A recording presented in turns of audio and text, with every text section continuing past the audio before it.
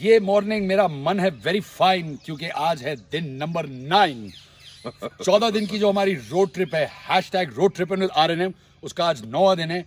गाड़ी का gas tank full है और गाड़ी आगे को बढ़ने के तैयार है। पूरा दिन हम माउंट आबू में घूमेंगे। जी हाँ जब आपको रास्ते में कोई गाड़ी दिखे हॉर्न बजाए पौ क्योंकि आज है हमारा दिन नंबर नौ। तो मैं भी पोएट्री कर रहा हूँ क्योंकि मेरा नाक हो गया बंद और मैं हो चुका हूँ साइकिल। तो आज मैं जो बातें करूँगा वो शायद मेरे नाक कहाँ से निकलेंगे। सॉरी ये तो महमूद हो गया बीच में। फिर आप मंदिर पे जाएँगे तो आप बाबा साइकिल बन जाएँगे। बहुत अच्छी बात। बाबा जी। फाइनली ये लड़का कुछ सीख चुका है मुझसे। उसका भी सेंस ऑफ़ ह्यूमर बिल्कुल आपकी तरह ही है। क्यों? हाँ ऐसा ही है। बाबा साइकिल गाने सुने उनके? अरे बाबा जी प्रणाम है आपको। पर खैर ये छोड़िए अपने हीरोज के बारे में बाद में बात करेंगे। अभी बात करते हैं माउंट आबू की। मौसम मस्ताना ठंडी ठंडी हवा रात को इतनी ठंड थी कि मुझे जुकाम हो गया थोड़ा सा। तो आज सुबह मैं जुखामी हूँ जुखामी। क्या भाई साहब अपना नाक क्यों कवर कर रहे हैं आप? नहीं मैं वैसे दूर नहीं नहीं नहीं सेफ़ प्रैक्टिसेस फॉलो कीजिए। यहाँ पे मज़ा ये आता है कि आप कहीं भी चले जाए माउंट आबू में आपको खूब सारी चिड़िया की आवाज़ सुनाई देती है। वाइल्ड लाइफ भी बहुत है यहाँ पे तो हम होप कर रहे हैं कोशिश कर रहे हैं कि हमारे को भालू भी दिख जाए कहते हैं यहाँ पे भालू बहुत आसानी से दिख जाते हैं। जैसे नॉर्मल स्टेट्स में भेड़ बकरी घूमते हैं रोड पे वैसे हमने सुना है कि यहाँ पे भालू ऐसे घूम रहे होते हैं। सुना है लेकिन ये आपको बताएँगे नहीं कि हम लोग जब आज अपनी सुबह गाड़ी पार्क हमने करी थी वहाँ करीब आधा किलोमीटर पीछे जब हम लोग सुबह बाहर बाहर निकले गाड़ी से साइड देखने के लिए वापस आए तो हमारी गाड़ी के बाहर दो छोटे और एक बड़ा भालू घूम रहे थे। तो 20 मिनट तक हम खड़े रहे क्योंकि कैमरा सब अंदर था। तो भाई साहब क्या हो रहा है ये? मैं भाई साहब न्यू में भालू हूँ। अच्छा। बीफर भाई साहब बीफर भालू।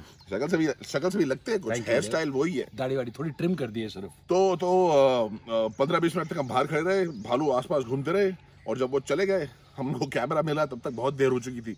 तो इस बात का हम सिर्फ़ आपसे विवरण कर सकते हैं। तो ये बहुत सुंदर जगह है जंगली जगह है साफ़ हवा है नींद अच्छी आती है भूख अच्छी लगती है। आप यहाँ पर आइए और नेचर का मज़ा लीजिए क्योंकि यहाँ पे कुछ और खास करने को है नहीं। मतलब पार्टी वार्टी जोन नहीं है ये ये है। साफ़ सुथरा नेचर का आनंद लेने का जोन। वाह कुदरत का आनंद।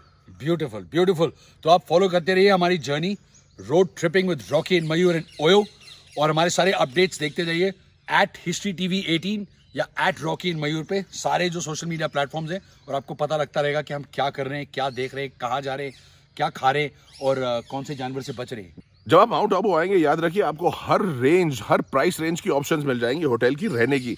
लेकिन जितना क्लोज आप माउंट आबू के आप पास आएँगे उतने प्राइसेस बढ़ जाएँगे। तो हम लोग हैं ऊँचा सब कुछ ऊँचा जाता है। आप ऊँचे जाते हैं तो हाँ। प्राइसेस थोड़े ऊँचे जाते हैं। आप भी ऊपर ऑल्टीट्यूड भी ऊपर प्राइसेस भी ऊपर सब कुछ ऊपर। तो हम लोग ठहरे हैं आबू रोड पे जो कि नीचे जाके थोड़ा सा है। और यहाँ पर हमारा जो होटल है उसकी वैल्यू फॉर मनी बिल्कुल फैंटेस्टिक है। साफ़ सुथरा सुंदर और पैसे बिल्कुल कम। इसको बोलते हैं वैल्यू फॉर मनी यानी आम के आम और गुटलियों के दाम। वैसे अगर वो वो मनी का भी ठटा दूँ तो साफ़ सुथरा एंड गुड लुकिंग हाँ तू भी तो है ना पर तेरा नाम कविता नहीं है। हाँ सो तो हमारे होटल का नाम ओयो कविता होटल है। कविता इन। इन ओयो कविता इन है और वहाँ पर हमको बड़े आराम से नींद आई रात को साफ़ सुथरी हवा में और अब हम आ गए माउंट आबू फिर से वापस क्योंकि हमें है तलाश खाने की एक्साइटमेंट की चीज़ों की लेक की साइट सीइंग की टूरिज़्म की सब कुछ की की की की की।